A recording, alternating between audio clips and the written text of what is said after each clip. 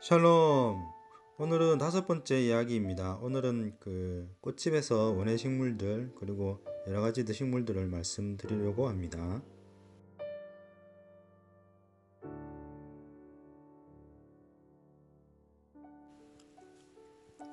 어, 히아신스도 보이고요.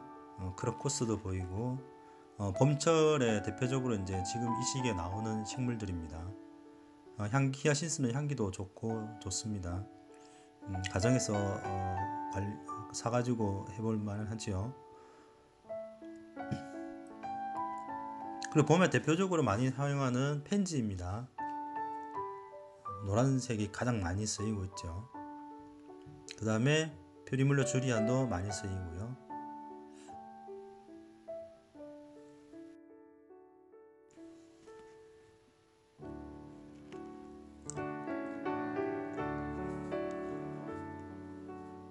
원래 이름은 팔레노포시스입니다. 호접란이 그 편하게 우리가 호접란이라고 부르고 있죠.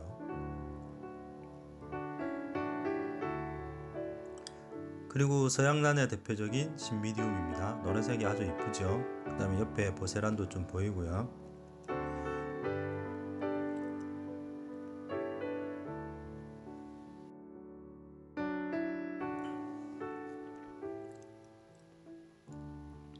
뒤에 노란색 산세베리아가 보입니다. 그리고 옆에 스투키도 보이는데 이거는 산세베리아 스투, 스투 키입니다.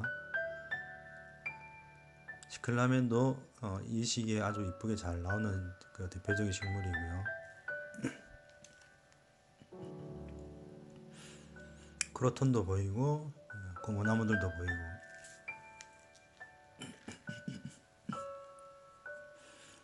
아, 꽃집에 여러 가지 식물들이 있는데 특히 관엽류들이 이렇게 뒤에 많이 있는데 제가 일일이 말씀드리기가 섞여 있어서 어, 정확하게 말씀드리기가 좀 힘듭니다.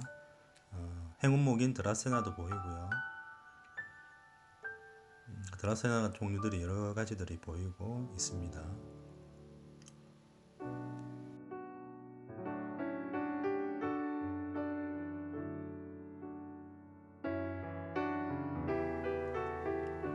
켄차 야자들도 보이고 홍콩 스페랄라도 보이고 음, 천연금도 보이고 관은족들도 보이고 야자류도 보이고 소철도 보이고요.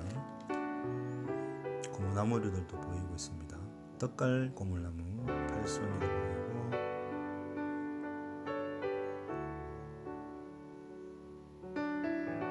병설란입니다. 버베나도 어, 봄에 이 시기에 많이 나오는 식물이죠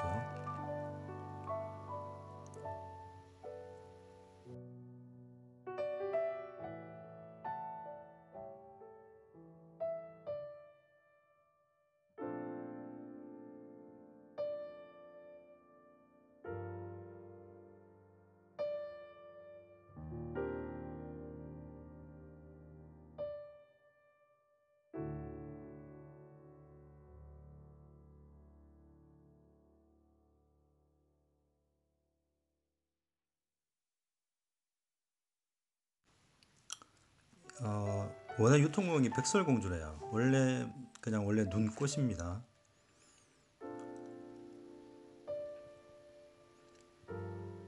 어, 이 집에도 이렇게 다육이와 선인장이 많이 있는데 제가 개인적으로 그렇게 선호하는 식물이 아니다 보니까 아직까지는 제가 공부가 미흡해서 식물들을 일일이 말씀드리기가 어, 못하는 부분이 있습니다. 양해 부탁드리겠고요. 뭐 인터넷이나 보면은 훨씬 더 이름들이 많이 잘 알려져 있으니까 참고하시고요.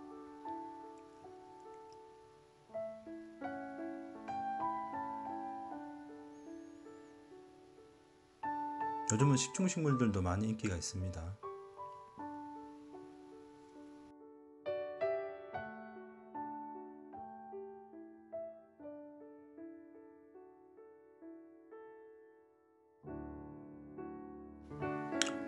그 요즘은 그 우리나라에서 꽃집들이 보면 정확한 이름을 가지고 유통시키는 게 아니고 그냥 우리가 편하게 이렇게 부르는 식물명이 많습니다. 그래서 좀 이름이 안 맞는 것들도 종종 눈에 톡 띄입니다.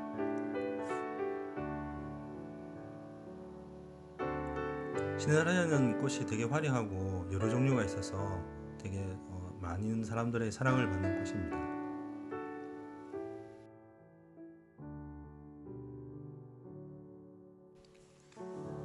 여기도 야자류들이 좀 있고요. 그 다음에 관원죽도 보이고 드라사나 콤팩타도 보이고 있습니다. 연상도 이렇게 화분 이쁘게 꽃이 피었고요. 여기도 시네라리아입니다. 화분에 지금 그 향기 좋은 프리지어도 있고요.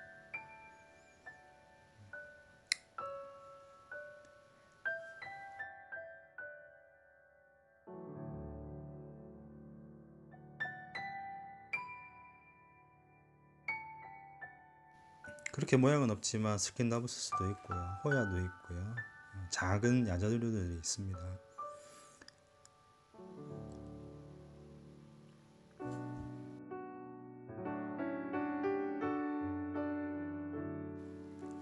사실 그 부산이나 서울 같은 경우에는 이렇게 큰 어, 화훼 그 센터들이 많이 있어서 많은 식물들을 구경할 수 있고 그 다음에 또 공부를 하시는 분들에게도 많이 유용한데 어, 경주나 이런 소도시는 이런 것들이 자주 없습니다. 그래서 가끔 제가 늘 애용하는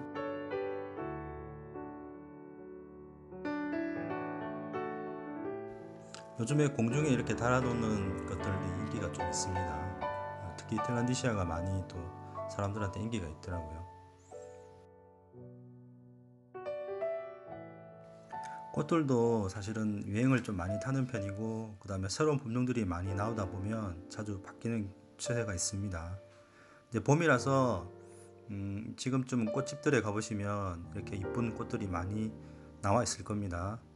그러면 꽃을 한 송이라도 사시면 이런 재배를 하시거나 생산을 하시는 분들한테는 그건 도움이 될 것 같습니다.